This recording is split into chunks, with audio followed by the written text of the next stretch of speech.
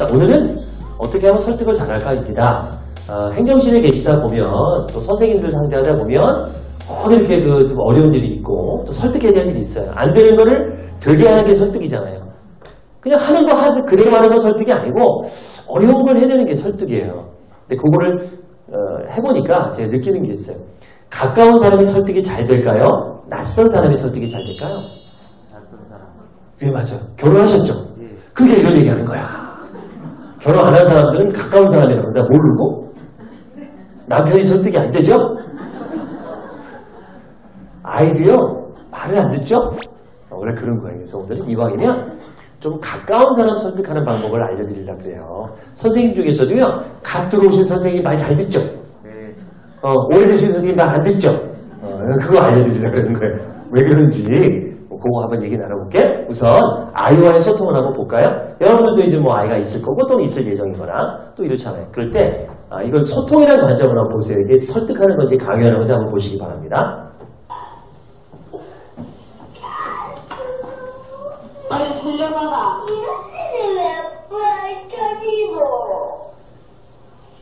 처음부터 다시 해봐봐.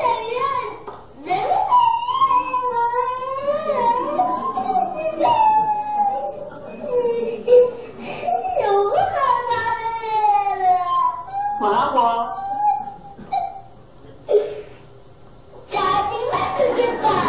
왜?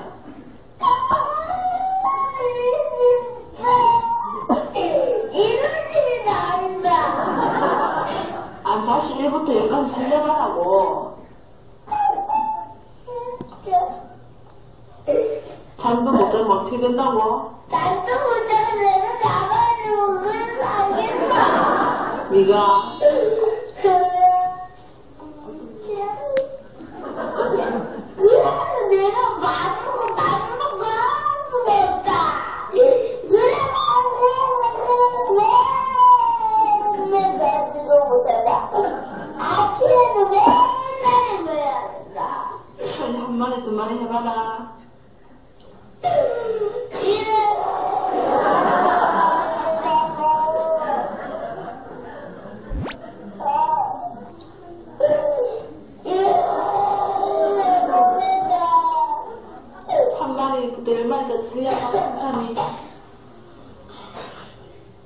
살려봐 시작.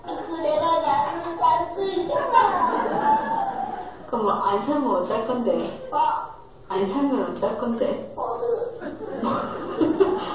못 살겠나? 내가 나도 살수 있잖아. 아이고, 불쌍해라. 이거 편집한 건데요. 이제 끝까지 보면요. 이제 끝을 알 수 있는데, 이 아이는 마지막에 공부를 하고 잤을까요? 안 하고 잤을까요? 예, 하고 재워요, 엄마가. 이거 편집한 거야. 끝까지 하고 재워요. 자, 이거 보겠습니다. 이 부모는요, 지금 설득하고 있나요? 강요하고 있나요? 예, 강요하고 있어요. 아, 여러분 학교에서 여러분의 상사는 여러분을 설득하나요? 강요하나요? 뭐를 못해 여기 있어요? 그 사람이? 아니, 솔직하게 주로 주로 주로 강요해요. 주로 강요해요. 그럼 여러분은 나중에 이제 상사가 됐을 때 부하 직원을 설득할까요? 강요할까요? 자 여기서 우리가 설득 얘기를 하는 제목이 강요하는 대화, 설득하는 대화인데 우리가 잘못 생각하면 강요는 나쁜 거고 설득만 좋은 거라고 생각하는데 그렇지 않습니다. 그거부터 한번 깨고 갈게요. 강요는 나쁜 게 아니에요. 시간이 없거나 급하거나 납득하기 어려운 상황이 있어요. 선생님이 뭘 하라 그러는데 납득이 안 되는 상황이 있어. 내가 설명을 못 하거나 굳이 안 해야 되는 상황이 있어. 그냥 하세요 할 수 있죠. 그죠? 예. 아, 법규가 그래요. 어쩔 수 없잖아. 규칙이 그래요.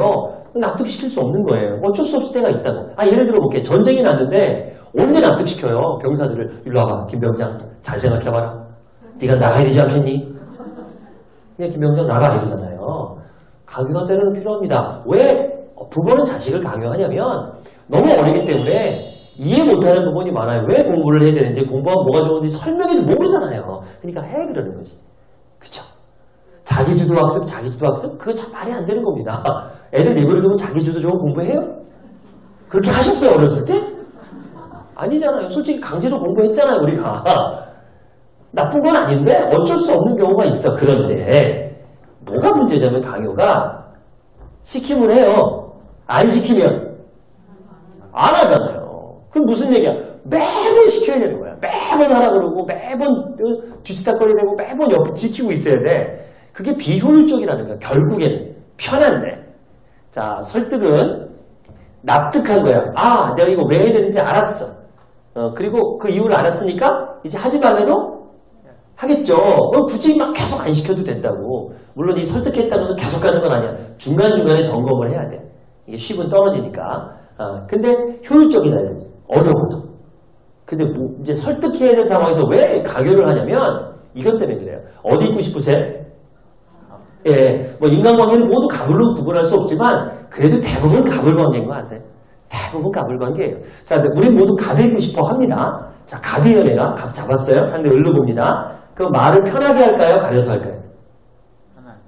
네, 편하게 합니다. 내가 편하니까. 자, 말을 많이 할까요? 들어줄까요?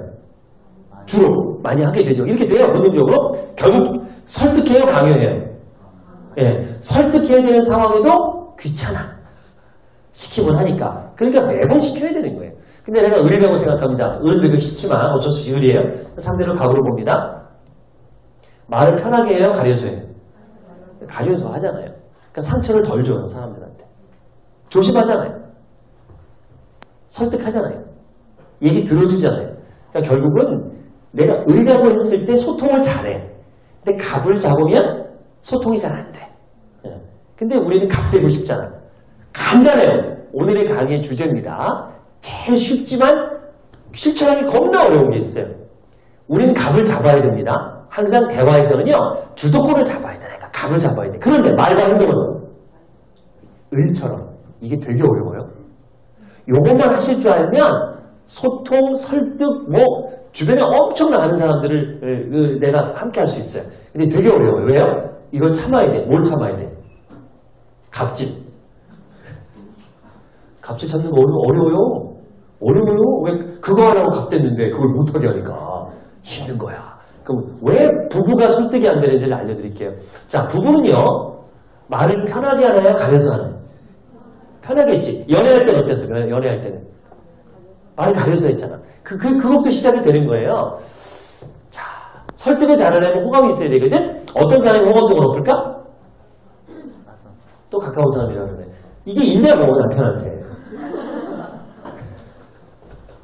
자, 말을요, 편하게 하면요, 호감도가 떨어집니다.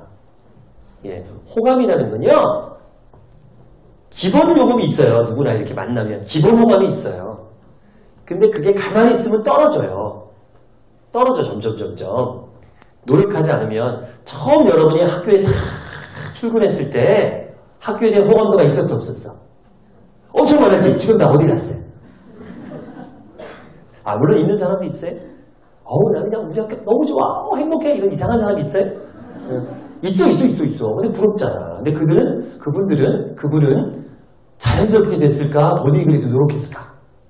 노력해야 돼요. 호감은요, 가까운 곳에 호감을 받으려면 노력해야 돼요. 노력하지 않으면 호감도가 없어져요. 노력해야 됩니다. 그러면 영상이 마음에 드셨다면 구독과 알림 눌러주세요. 생방송으로 진행하는 비공개 강의를 보실 수 있습니다. 카카오톡에서 이북 받는 법을 알려드립니다. 카카오톡의 친구 찾기에서 그냥 제 이름 김효석을 검색하시면 플러스 친구가 뜹니다. 채팅방에 클릭하시면 되고요. 여기에 추가 버튼을 눌러주세요. 그럼 저랑 친구가 된 거예요. 확인 누르시면 어, 바로 친구가 되고요. 아래쪽에 이북 받기라고 보이시죠? 여기를 클릭하시면 됩니다. 바로 다운됐죠? 여기를 클릭하면 또 다운로드가 돼서 이북을 받으실 수 있습니다. 아, 이거는 화면상에 보이는 거니까 또 다운로드를 한번 더 눌러주세요. 내 휴대폰에 들어와 있습니다.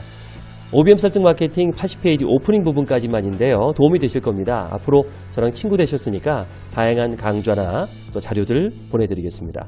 카톡에서 계속 뵙겠습니다. 고맙습니다.